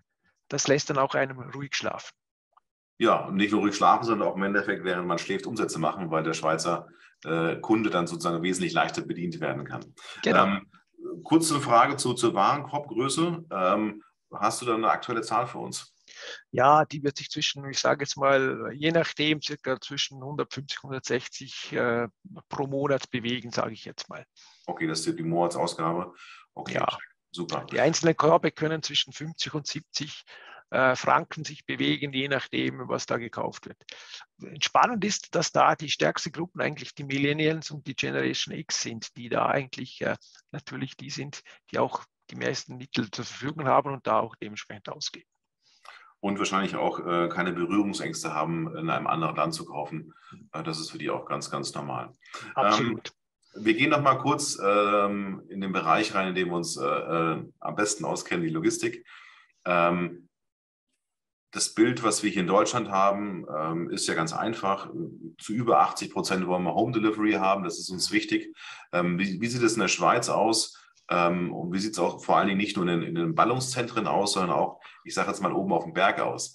Ähm, wie sieht es da mit äh, Zustellungen, mit Lieferzeiten oder auch im Endeffekt auch mit den neuen, modernen äh, mhm. Zustellmöglichkeiten wie äh, Locker oder auch äh, Pudo, also ein Paketshop aus? Ja, also primär natürlich auch äh, Heim, Heimlieferung ist das, was absolut bevorzugt wird. Das ist absolut so. Es gibt auch in den Ballungszentren absolut problemlos äh, diese Parcel Locker, die man bedienen kann, wo äh, gerade die Pendler das sehr, sehr stark nutzen und äh, dementsprechend eingesetzt werden. Äh, Paketjobs gibt es natürlich auch. Das sind äh, hauptsächlich die, sage jetzt mal dann, die, die anderen Anbieter, die hauptsächlich dann äh, im B2B-Bereich äh, zuerst platziert waren, jetzt im B2C-Bereich versuchen zu erschließen. Äh, diese Möglichkeiten gibt es auch. Ist einfach immer wieder ein bisschen aufwendiger, als wenn die Heimlieferung funktioniert. Was in der Schweiz sehr gut funktioniert ist, weil die Schweizerische Post und die Liechtensteinische Post auch die Aufgabe haben, als Universaldienstleister mhm. die Zugänge zu sichern, dass natürlich Pakete, die allenfalls nicht zugestellt werden, bei den Filialen gelagert werden äh, und dementsprechend auch in einer Avisierung abgeholt werden können. Und das funktioniert also wirklich problemlos und wird auch sehr, sehr rege genutzt. Sehr gut, cool. Ähm, ein Punkt, der, äh, ich sage mal, einen sehr, sehr wichtigen Stellenwert hat für mein, von, von meiner Sicht aus, ist äh, äh der Retourenbereich. Wir reden ja nicht über eine Retoure, die jetzt mal, sich innerhalb der EU bewegt, sondern quasi die, die, eine Sendung, die die EU verlässt und dann wieder zurückkommen möchte. Ähm, also von daher, wie sieht da ungefähr die Quote aus? Äh, ähm, wie sind da die Erfahrungswerte äh, aus deiner, aus, von deiner Sicht aus? Ja, also die Retourenquote in der Schweiz, wenn ich das so betrachte, auf 2021 liegt etwa knapp bei 22, 23 Prozent. Mhm. Äh, ein großer Teil verursacht effektiv Fashion. Das muss man sich ganz bewusst sein. Fashion macht rund 40 Prozent der Retourenquote aus. Und mhm. da viele Sendungen im Online-Bereich wirklich aus, aus Deutschland stammen, sage ich jetzt mal, äh, hat das natürlich dann dementsprechend die äh, Quote sich niedergelassen. Äh, was aber wichtig ist, dass Sendungen die ins Land eingeführt werden, auch über diesen Kanal wieder zurückgeführt werden. Weil dann sind sämtliche Informationen, die den Zoll betreffen, vorhanden und es lässt sich dementsprechend relativ einfach abwickeln und zum jeweiligen Versender, Versender zurückzuführen und zurückzubringen. Und mhm. so kann es sowohl für den Versender einfach gemacht werden, als auch für den, den damaligen, also den einzigen Käufer in der Schweiz. Sehr schön. Also klingt ein bisschen kompliziert, ist aber machbar, das wissen wir beide. Dass es ja. absolut machbar und darstellbar ist. Und da freuen wir uns auch auf die Anfragen äh, von meinem Schweizer, von meinem geliebten Schweizer Land, äh, weil ich mag es einfach. Ähm, noch ein Punkt, ähm, wenn man das Land ernst nehmen möchte und auch mit Veranstaltungen kennenlernen möchte oder wer auch einen Dienstleister sucht oder ähm, vielleicht auch andere Händler, mit denen man sich austauschen kann, welche Veranstaltung kannst du uns vielleicht empfehlen, ähm, um sich da, ja, ich will nicht sagen reinzusteigern, sondern einfach mhm. sich zu akklimatisieren? Also was sich immer wieder anbietet, ist der, der Schweizerische Versandhandelsverband, der immer wieder verschiedene, ja, äh, sei es jetzt zum Beispiel Workshops anbietet, aber auch äh, Meetings abhält. Dementsprechend kann, kann, man sich da am besten einklinken. Da bekommt man auch direkten Kontakt zu anderen Anbietern, zu, zu Versandhändlern, auch Versender dementsprechend und kann sich da wirklich gut austauschen. Da wird auch einem geholfen, wenn es vielleicht gewisse Fragen gäbe mhm. hinsichtlich äh, einer Niederlassung oder wie man dann am besten vielleicht in die Schweiz einsteigen möchte, wenn man in der Schweiz das machen möchte. Äh, das äh, ist eine gute Organisation, die da wirklich Hand bieten kann. Und ansonsten kann man natürlich auch uns fragen, wir können da gerne Hand bieten. Sehr schön, cool. Hubert, dann schon mal vielen, vielen herzlichen Dank äh, für den guten Austausch und auch für die Informationen sozusagen aus, aus deinem Heimatland oder deiner Heimatregion, muss man das ja sagen, du bist ja Liechtensteiner. Ähm, war sehr, sehr wertvoll für uns und ich hoffe, dass es auch den Merchants äh, auch ähm, ja, vielleicht einen Impuls gibt, sich zu bewegen, weil ich habe noch einen Punkt, und zwar Hubert als Privatperson, sage ich jetzt mal. Ne? Das ist ja, äh, eine nicht abgesprochene Frage. ich zeige jetzt schon mal. Ähm, gibt uns doch mal ein Gefühl, was die Waren in der Schweiz kosten und was die Waren in Deutschland kosten. Und jetzt einfach nur ein Gefühl und nicht auf, auf einen Cent ausgerechnet. Ähm, und was, warum du sozusagen auch öfters in Deutschland einkaufst. Was ist dein Beweggrund? Also es sind zwei Beweggründe. Auf der einen Seite habe ich in Deutschland eine größere Auswahl. Mhm. Ich war gerade letztes Wochenende mit meiner Frau in Konstanz mhm. äh, und die hat sich da richtig wohl gefühlt, hatte da wirklich tolle Sachen eingekauft. Äh, das äh, ist die eine Sache. Die andere Sache ist auch das Thema Pricing. Mhm. Wenn ich äh, an die Tankstelle in Deutschland fuhr, letztens hatte ich für einen Liter Diesel, glaube ich, 1,75 Euro bezahlt. Und wenn ich bei uns an die Tankstelle fahre, bezahle ich 2,30 Franken, also 2,30 Euro. Mhm. Und dieser Unterschied, den spürt man auch dementsprechend. Mhm. Ich würde natürlich nicht jetzt absichtlich nach Deutschland fahren, um zu tanken, aber wenn sich das mit anbietet, werde ich das machen. Und äh, die Mehrheit, die Mehrauswahl, die ich in, in Deutschland erfahren kann, äh, gibt mir schon dementsprechende Möglichkeiten, Produkte zu kaufen, die es bei uns vielleicht nicht gibt oder nur schwerlich bekomme. Insbesondere sind das zum Beispiel auch Sportartikel äh, oder andere Produkte, die in Deutschland äh, viel besser zugänglich sind als wie bei uns. Ja, also zugänglich und auch preislich wesentlich interessanter ja. sind. Was auch da wiederum bedeutet für, für dich, lieber äh, Merchant oder äh, Verkäufer, du kannst zu einem höheren Prozentsatz, also eine höhere Marge fahren, oder zum teureren Preis verkaufen in der Schweiz. Also von daher ist es ein sehr, sehr attraktiver Markt und die Umsätze sprechen ja auch dafür. Ähm, knapp 13 Milliarden ähm, Euro Umsatz äh, im, im E-Commerce-Bereich. Das heißt 40 Prozent mehr wie in Österreich umgesetzt werden. Also von daher ist Schweiz wirklich ein sehr, sehr interessanter Markt. Hubert, vielen, vielen Dank für den Austausch und äh, wir sehen uns bald wieder, das weiß ich, aber äh, vielen Dank, dass du uns auch hier tatkräftig mit äh, geholfen hast mit den ganzen Informationen. Besten Dank an dich, Micha, dass ich diese Möglichkeit bekommen habe und ich freue mich auf unser nächstes Treffen. Ich wünsche alles Gute.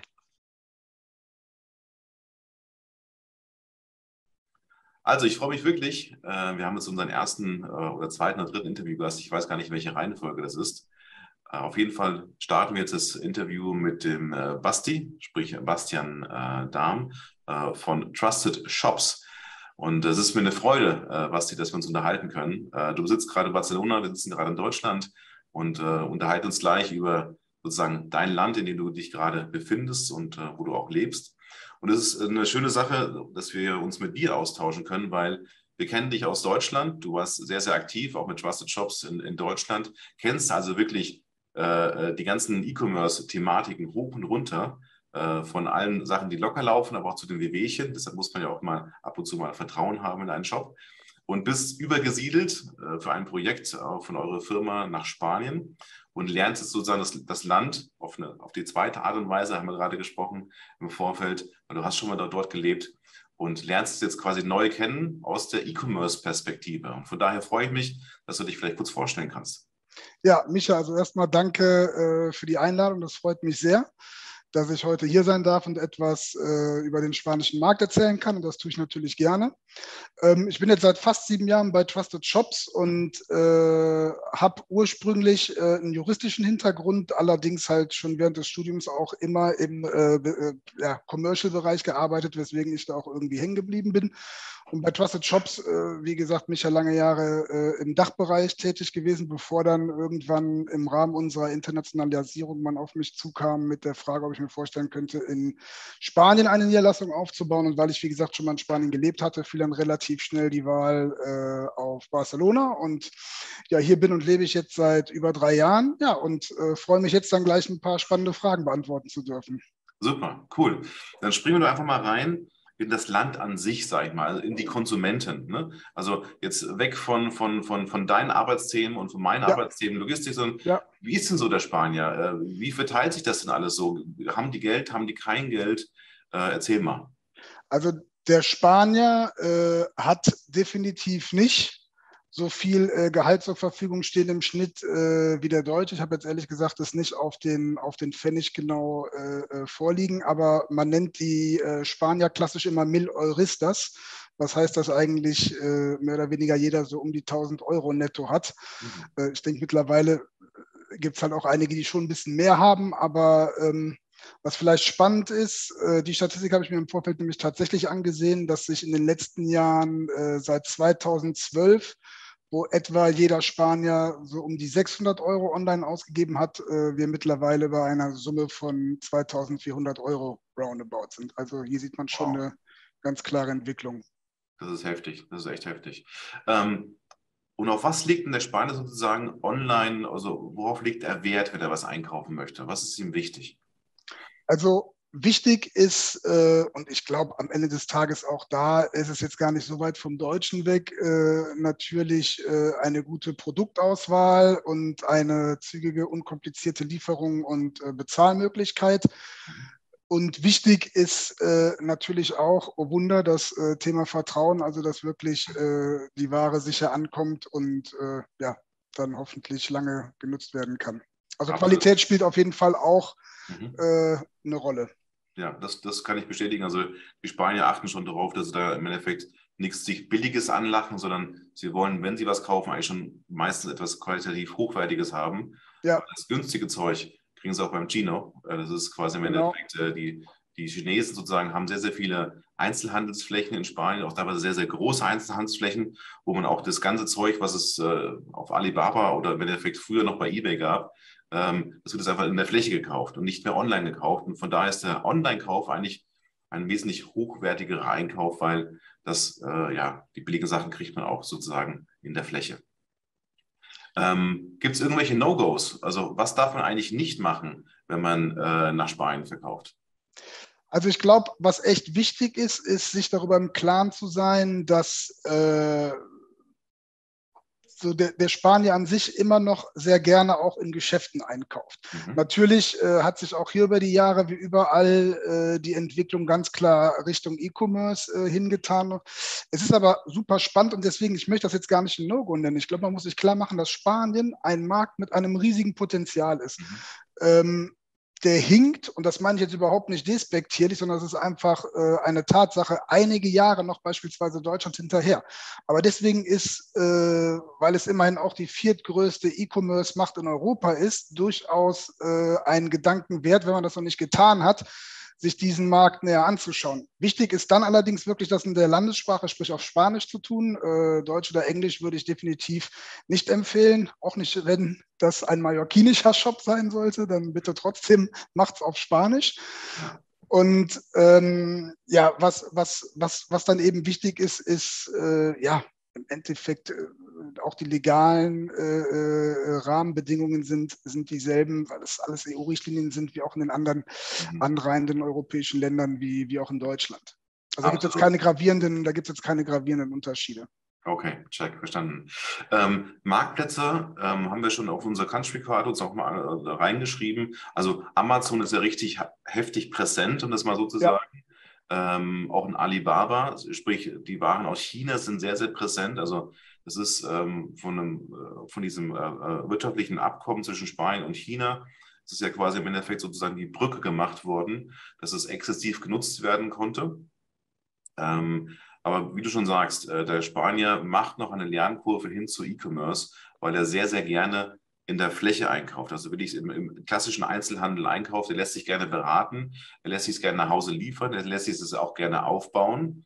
Äh, das ist auch einer der Gründe, warum zum Beispiel auch in Ikea äh, jetzt erst Stück für Stück Fuß fasst und das für die auch immens schwer war, weil der Spanier sich gesagt hat, nee, also ein Billigregal baue ich mir nicht auf, das lasse ich mir aufbauen. Ähm, das ist so ein bisschen auch, ich sage jetzt mal, fast der, der, der spanische Stolz, dass man sagt, das, das will man einfach so haben. Man will bedient werden. Und du hast äh, vollkommen richtig. Und du hast zum Beispiel auch eine Marke wie den Corte Inglés. Das ist mhm. vergleichbar mit äh, Kaufstadt, äh, Kauf, äh, Karstadt. Kaufhof oder Karstadt.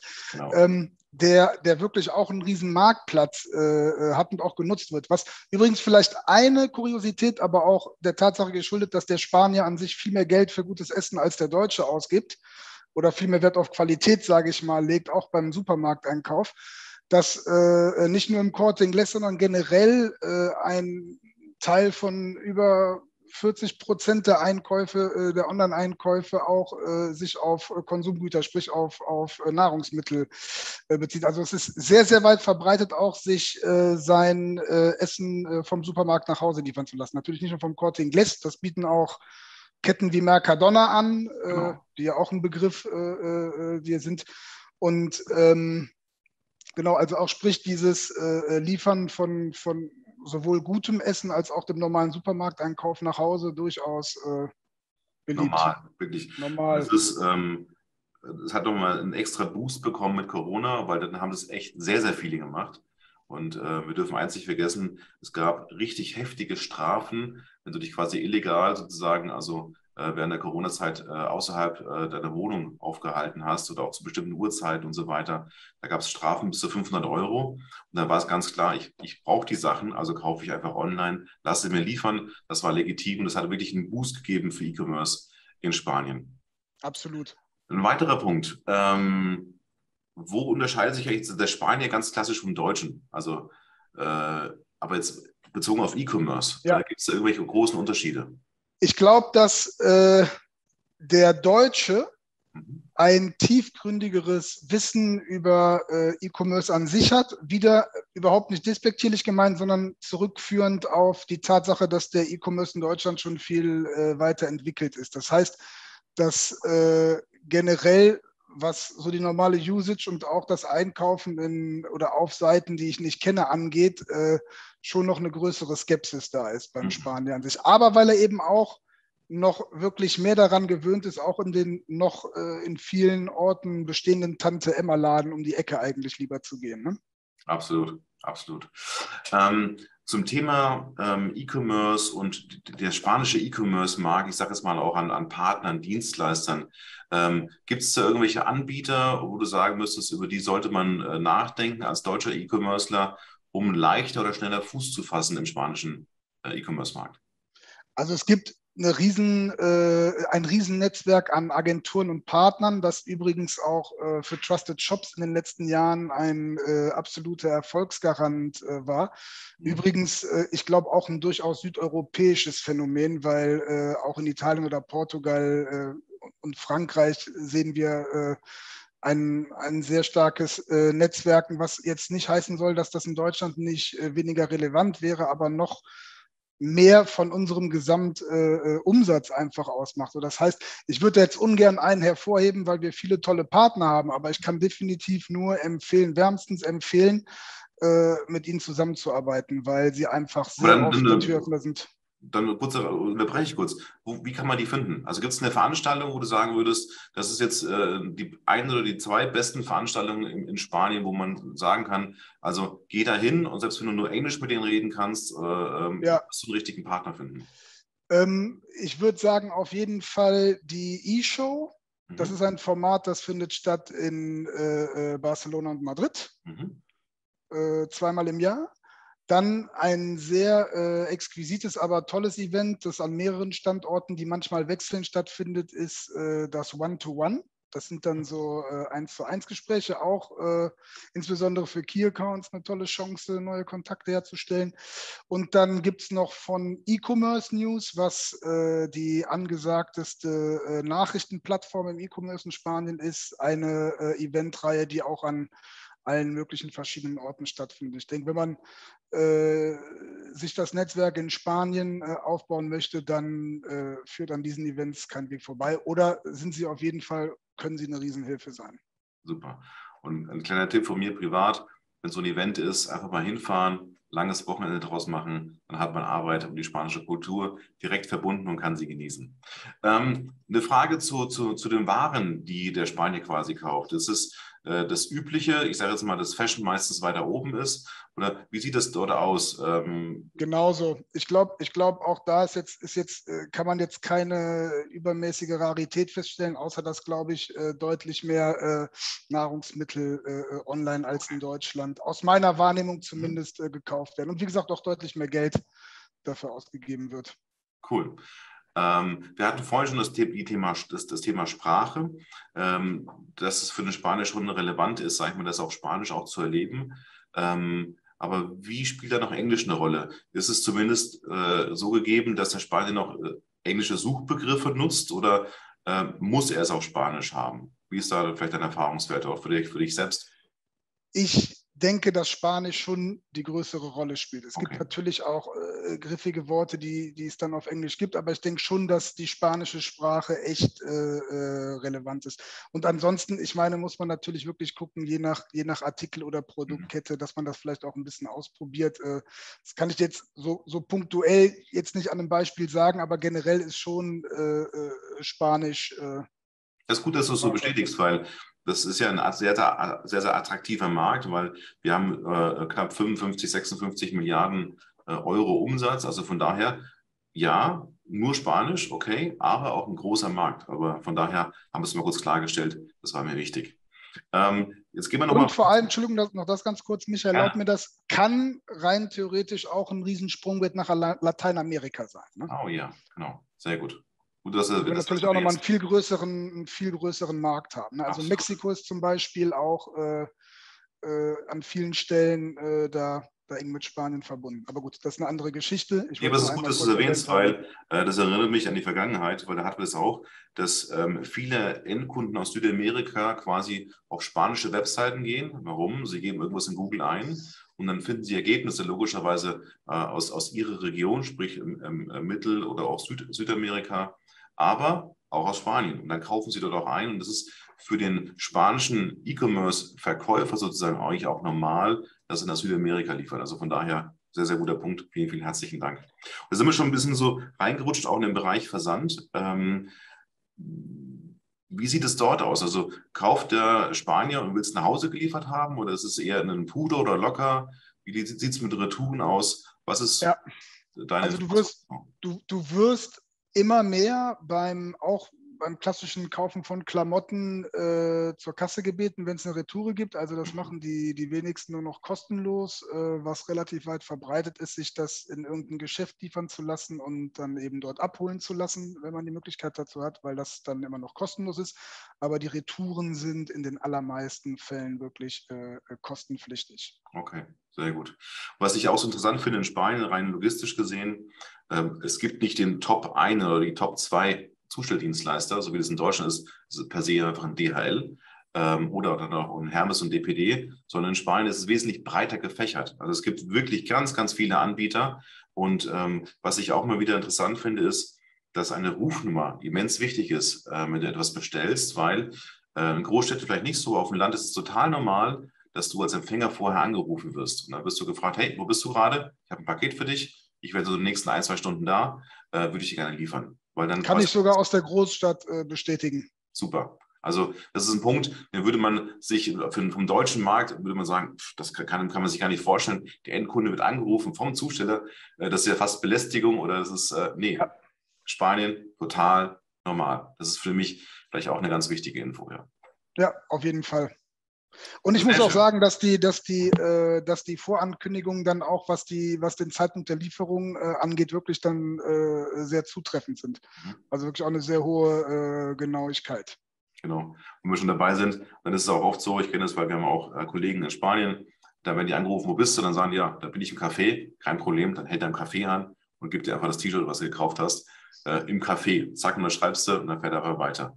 Also es ist eine ganz, ganz andere, lockere Art. Ja, kann ich auch nur, kann ich auch nur bestätigen. Wir haben zum Beispiel bei uns auch ein Geschäft äh, unten im Haus und auch da äh, können wir die Sachen dann äh, abgeben lassen, wenn wir mal nicht da sind. Und das hat bisher auch immer reibungslos geklappt.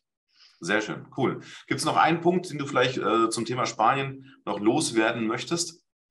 Ja, ich glaube, dass, ähm, um da auch nochmal eine Lanze für den Markt zu brechen, mhm. Wirklich die Tatsache, dass äh, Spanisch eine der meist äh, gesprochensten Sprachen äh, der Erde ist. Mhm. Also wirklich, wenn man diesen Gedanken mit sich trägt, ein Riesenpotenzial dahinter steckt, wenn man sich dieses Invest einmal überlegen möchte, weil eben das Potenzial weit über die iberischen Landesgrenzen hinausgeht. Also von daher, ich glaube, ein Markt mit riesen, Riesenpotenzial, noch mit einem riesen Aufholbedarf, der aber auch erkannt ist. Technisch, das hatten wir Micha eben ja auch im Vorfeld besprochen, du kannst äh, hier genau wie in Skandinavien äh, mit äh, hm. der Kreditkarte Kaugummis bezahlen. Also das heißt auch sowas, was so das, das, das Mindset angeht äh, des, des Verbrauchers an sich, das geht absolut in die richtige Richtung. Super. Cool. Dann vielen, vielen Dank, äh, Basti, für die tollen Informationen aus Spanien. Ja. Danke, es hat Spaß gemacht. Absolut. Ich hoffe, dass es auch den Teilnehmern quasi etwas bringt, sich wirklich mit Spanien auseinanderzusetzen, denn es ist ein großer Markt und der macht uns auch, also nicht nur uns Freude, sondern auch vielen Händlern, die das auch aktiv angehen. Ja, sehr gerne. Danke, Micha.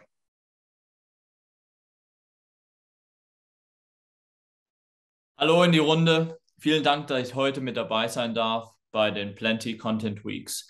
Mein Name ist Patrick Köhler. Ich bin ursprünglich aus Heidelberg und bin seit 2008 schon in den USA. Ich bin der Gründer von KD Global USA und wir helfen internationalen Firmen beim US-Markteinstieg. Heute darf ich hier im, im Rahmen der Plenty Content Weeks E-Commerce in den USA präsentieren. Wir werden ein paar Aspekte von, von den heutigen Trends besprechen und auch, welche Infrastruktur brauche ich wirklich, um in den USA erfolgreich meine Produkte an den Mann zu bringen. Wir werden uns äh, Plattformen versus Marketplaces anschauen. Das Steuerthema ist ein wichtiges in den USA. Warehousing und Supply Chain. Wie kann ich hier meine Infrastruktur effizient aufsetzen? Rechtliche Aspekte, ja, nochmal etwas anders wie, wie in Deutschland. Und äh, wie funktioniert eigentlich die Produkthaftung und Datenschutz? Äh, was ist Standard bei der Kennzeichnung FDA versus California Proposition 65? Und natürlich auch interkulturelle Aspekte, typisch deutsch und amerikanisch. Wo sind da wirklich die Unterschiede und was muss beachtet werden? Marketplaces versus Plattform. Also in den USA ganz, ganz logisch. Amazon takes the charge here. Amazon ein gewaltiger Brocken wirklich im E-Commerce äh, in Amerika. Äh, der Trend liegt klar auf der Hand. 160 Millionen von den 330 Millionen äh, Mitbürgern und Mitbürgerinnen in den USA haben Amazon Prime. Also das ist wirklich gewaltig und dahinter gibt es noch verschiedene Marketplaces wie Walmart, Target oder auch kleinere wie Dick's Sporting Goods. Auf der Plattformseite schaut es etwas anders aus. WooCommerce, äh, der, der Plugin, den man bei WordPress installieren kann, hat einen Share von 20 Milliarden Revenue letztes Jahr erzielen können und dahinter liegt dann äh, Shopify bei 4,6 Milliarden. Aber was man nochmal bei Shopify erwähnen muss, ist folgendes. Es gibt tatsächlich in den USA alleinig 2,6 Millionen Shopify Stores von Individual Shopify Sellers. Also diese Zahl finde ich enorm und super interessant. Number of Amazon sellers bei Annual Sales in Revenue letztes Jahr äh, in Amerika 350.000 Amazon-Sellers haben es wirklich über die 100.000 äh, Dollar Marke geschafft und 60.000 haben es über eine Million geschafft. Also diese Zahlen sind einfach gewaltig und äh, das zeigt auch nochmal, die Strategie, die wir auch sehen, ist, dass oftmals internationale Firmen erstmal bei Amazon listen ihre Produkte, bevor sie dann ihren eigenen Online-Store eröffnen. Also das ist auch nochmal äh, ja, eine Strategie, die äh, sich bewährt hat über die letzten Jahre. Und wir haben das einfach auch äh, gesehen, dass diese Strategie äh, ja eine richtige ist, aber nicht die einzigste.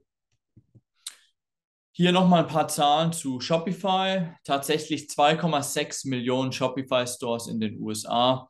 Gewaltig. Also diese Zahl ist, ist, ist enorm. Und dann noch ein paar andere Statistiken. Der Overall Revenue Share in North America ist 2,15 Milliarden US-Dollar. Steuern im US-Handel. Ähm, wie auch in Europa äh, gibt es grenzübergreifend ja, äh, äh, Steueransätze. In den USA ist es folgendermaßen. Es gibt die Nexus Law, die Economic Nexus Thresholds. Es gibt 50 Bundesstaaten und in jedem Bundesstaat äh, sind die Regeln etwas anders. Ähm, wenn man physische Produkte in einem Bundesstaat lagert, dann muss man sich da auch registrieren. Also da geht kein Weg dran vorbei. Aber wenn man zum Beispiel aus dem Bundesstaat Georgia äh, Ware nach Kalifornien schickt, dann muss man sich erst registrieren, wenn man diese Threshold von 500.000 Dollar überschreitet oder 100 Transaktionen. Also äh, 100 Transaktionen sind relativ schnell erreicht. Das heißt, da muss man sich dann trotzdem registrieren und sagen, hier, äh, ich muss jetzt hier die Steuern einnehmen in dem Bundesstaat Georgia oder Kalifornien, meine ich. Ja, genau. Dann Supply Chain und Warehousing. Wie funktioniert es eigentlich? Ja, ähm, Transatlantic Shipments. Äh, wie funktioniert das beim Zoll? Also hier äh, bei der HTS, beim HTS äh, Tax Code Table kann man auch auf Google nachsehen, äh, kann man äh, seine Commodity eingeben, äh, unter welcher Kategorie die Produkte dann fallen. Und dann sieht man hier zum Beispiel bei diesen Artikeln, bei Fitness-Exercise-Geräten, fällt eine äh, Duty an von 4,6 Prozent. Also ganz, ganz gut gemacht hier in den USA, äh, öffentlich äh, zugänglich und kann man relativ schnell ähm, sehen, welche Duties da anfallen beim, beim Import. Ja? Dann arbeitet man öf, öf, oftmals mit einem Freight Forwarder zusammen. Man kann das entweder individuell pro Shipment äh, machen, einen Custom Spawned, weil äh, jemand muss der Importer of Record sein und äh, das ist auch nochmal wichtig. Da gibt es äh, entweder macht man es pro Shipment oder macht, macht ein Annual Custom Bond, der zwischen 500 und 750 Dollar liegt. Supply Chain und Warehousing, natürlich die, die Incoterms. Ja, ähm, jetzt arbeitet man mit einem Distributor zusammen in, in, der USA oder macht man das selbst, hat man eine eigene Firma oder nimmt man einen Aggregator, einen Broker wo über die Transaktionen laufen. Das kommt immer darauf an, welche Incoterms man nutzt. Ähm, und genau, Freightos ist ein Anbieter von, von vielen. Und genau, da kann man einfach ja, relativ schnell digital sich hier ähm, Angebote reinholen und dann mit verschiedenen Freight Forwarders zusammenarbeiten. Supply Chain und Warehousing, es geht weiter um hier etwas Eindruck zu schaffen, ähm, Eindrücke zu geben.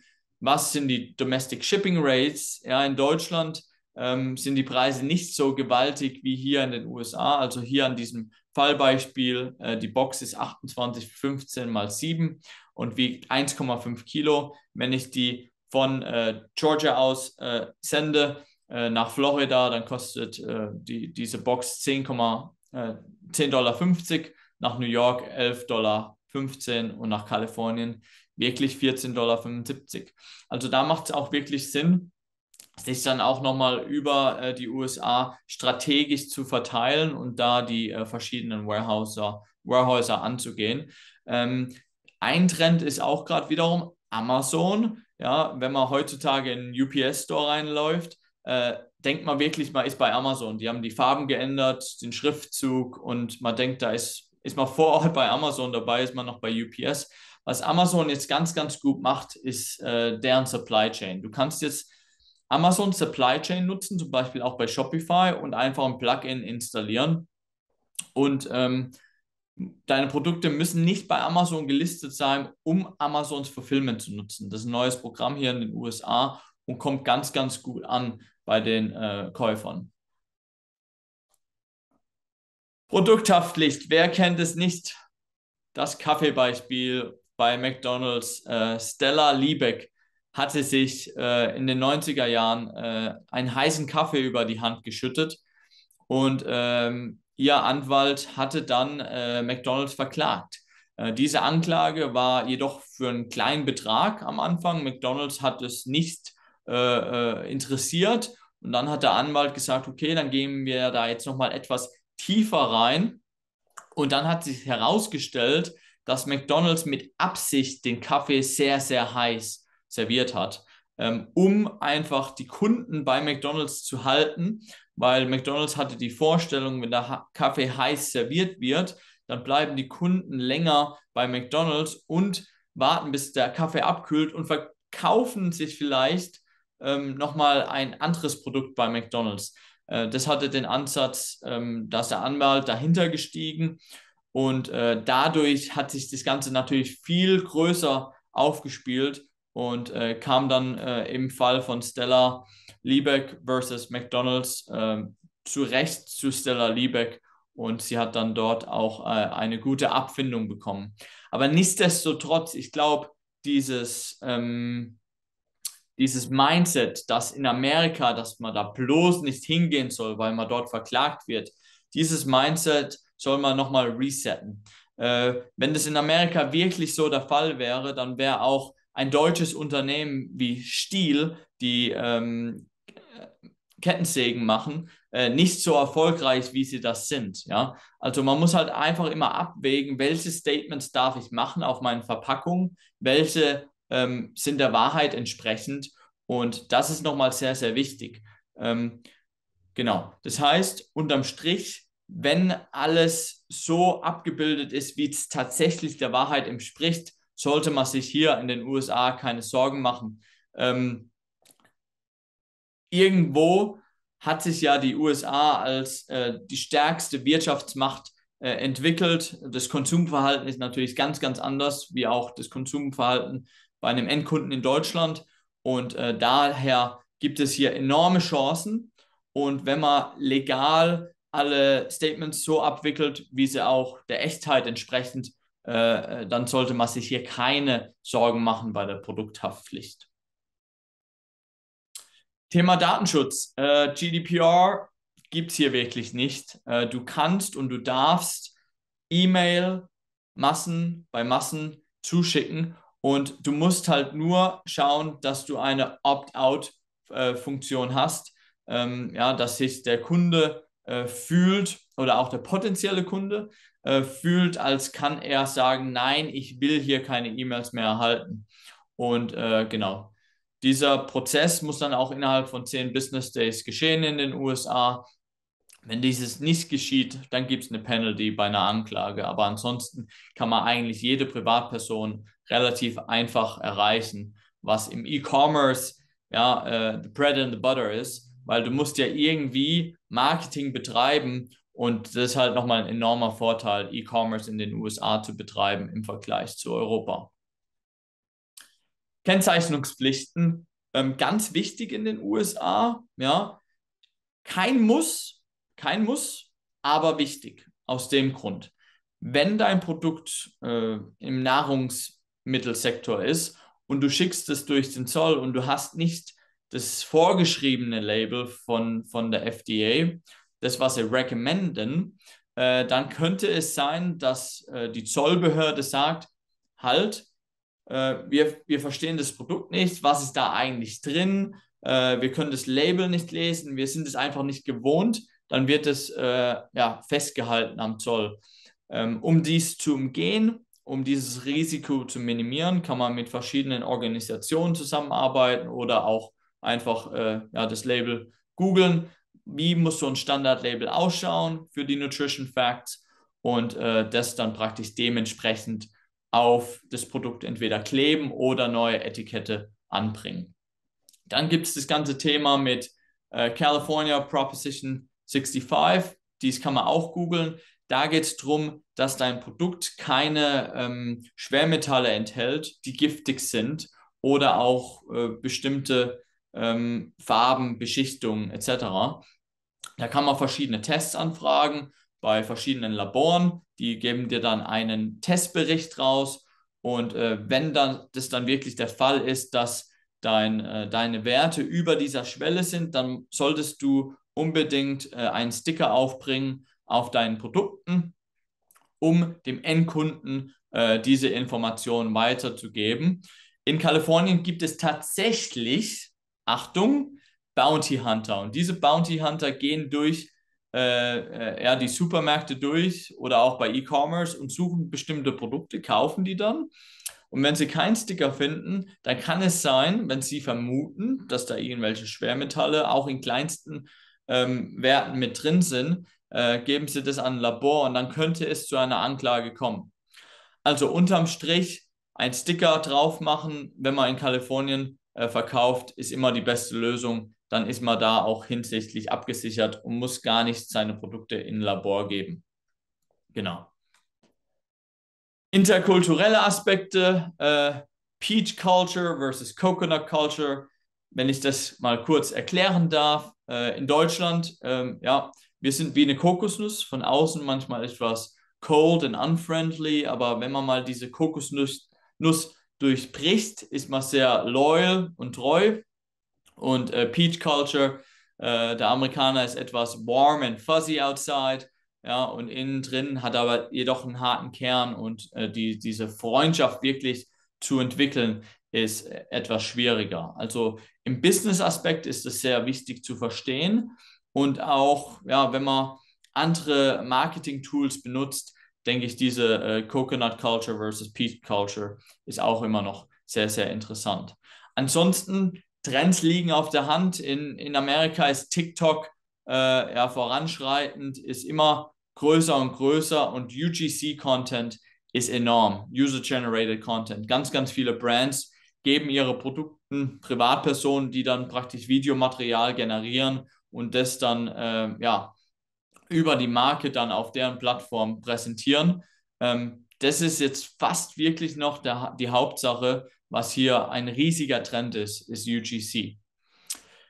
Wenn ich, ähm, wenn es neue Fragen gibt, äh, interessante Themen zu besprechen, ich bin am nächsten Freitag beim Roundtable mit dabei. Da kann ich auch direkt in Person äh, eure Fragen beantworten und bedanke mich hier nochmal recht herzlich bei äh, Plenty Markets, äh, dass ich hier als Referent auftreten durfte und euch über das Thema E-Commerce in den USA berichten durfte.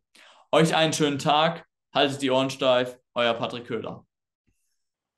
Vielen, vielen Dank an Micha dafür, dass er diese Interviews durchgeführt hat. Vielen, vielen Dank an René, Hubert und Bastian für die Einblicke in die verschiedenen Länder, die ehrlichen Antworten und hoffentlich äh, ein bisschen Geschmack auf die Länder an unsere Händlerinnen und Händler gemacht haben für den nächsten Schritt ins internationale Verkaufen. Patrick, auch vielen, vielen Dank für die Einblicke in deinen dein Case, das Verkaufen in die USA, den Blick in die USA und wie die Zahlen da denn so aussehen, was Chancen sind. Wie geht es jetzt weiter? Wir haben ähm, unsere erste Themenwoche noch nicht komplett vorbei. Denn am Freitag haben wir wie in jeder Themenwoche unseren Roundtable. Dafür könnt ihr euch hier unter dem QR-Code anmelden, registrieren ähm, zu dem Webinar. Wir werden einen Händler dabei haben, ähm, zum Teil unsere Partner, die wir die Woche gesehen haben. Nils von EB Research aus der ersten Woche wird dabei sein. Und wir freuen uns, all die Fragen, die ihr jetzt heute gestellt habt im Webinar, einmal schon durchzulesen und mitzunehmen in den Roundtable. Aber natürlich können auch während des Roundtables noch äh, Fragen gestellt werden. Wir freuen uns auf eure Anmeldung und dass ihr dann dabei seid. Themenwoche 1 von 4. Es geht in der nächsten Woche weiter mit Steuern, Legal und Finanzbuchhaltung. Wie auch in dieser Woche am Dienstag das Webinar, am Freitag der Roundtable dazu. Wir freuen uns ganz doll, wenn ihr euch auf unserer Plenty Content Weeks Seite anmeldet zu den einzelnen Webinaren. Nächste Woche Steuern, Legal, Finanzbuchhaltung, gefolgt von Marktplätzen, Kundenservice, Logistik und Fulfillment. Und einen großen Dank an all unsere Partner. Wir werden jede Woche mehr Partner. Danke an alle Beteiligten, die heute mit dabei waren. Und wir freuen uns auch, viele dieser Partner in den nächsten Wochen sehen zu können.